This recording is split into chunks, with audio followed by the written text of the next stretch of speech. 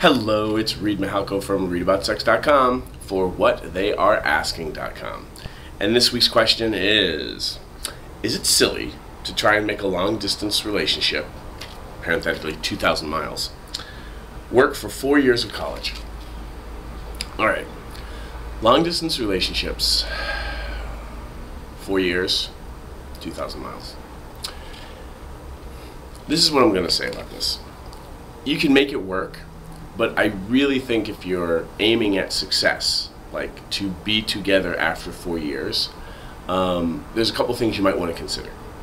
One, most people coming into college trying to make a long distance relationship work, um, basically what they're doing is they're taking a relationship that started in high school, usually, um, which was a relationship where you guys were around each other all the time. And that was one of the reasons, probably, that the relationship was working so well. You guys being, uh, in this case, 2,000 miles apart, going into a completely different social situation. Um, you're away from your parents, uh, unless your parents are going to college with you, which is just kind of weird. Um, but you're away from your parents, you're in a completely new group of friends, uh, group of activities, um, different uh, study schedules maybe. Like, like you basically, your world's going to change. And you're going to try to keep a relationship that was, for the most part, probably healthy with you guys seeing each other every day. Um, move to completely different universes and try to pull off making your relationship work for four years.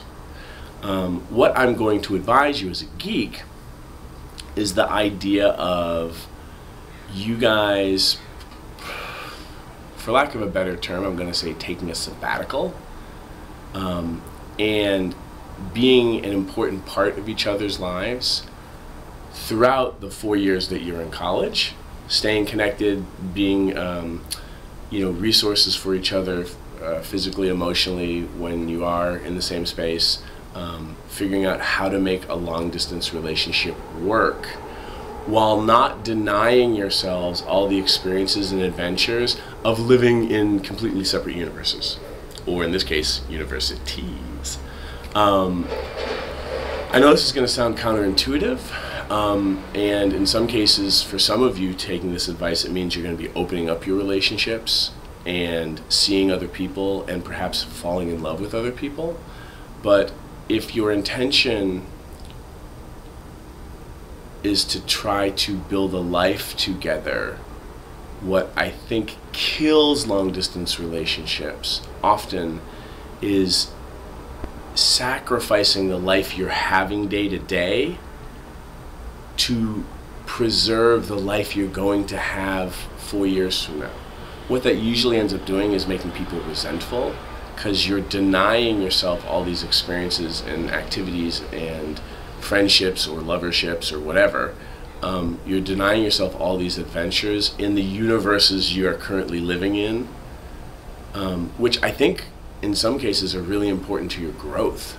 So you have to figure out where you have to figure out for yourself and also collaborate with each other as um, as a team, as a partnership around where your morality and your values and, and, and what your needs are um, around what would feel good for you in having your own adventures and then being able to you know still maintain some sort of connection for the four years. Uh, but I think most certainly in my experiences, and and personally as well, not just professionally, what kills long distance relationships, and by long distance I mean it's you know more than probably a three or four hour drive to get to each other, and you can't physically see each other that often. Um, you know, Skype and video conferencing can help, but it's not the same as actually, you know, cuddling and being, you know, sharing a meal together. So I feel like I'm, I'm repeating myself, but basically to kind of recap what I think my best advice is for making a long distance relationship work is if you if your intention as a couple is to st- you know build a life together one don't cut off the lives you're having separately when you're apart because you need some sort of autonomy. Um, and also all those adventures you get to kind of come back together and share. But those those your separate lives at different colleges or, or you know different places, those are going vastly towards building you and growing you into the person you are going to become.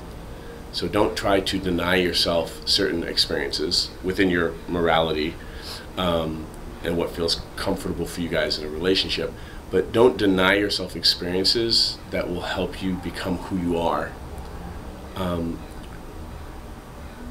plan scheduled ways of staying connected, whether through Skype, letter writing, phone calls. Um, try to see each other, I would say at least two or three times, if not four times a year. Um, holidays and things like that are, are really important.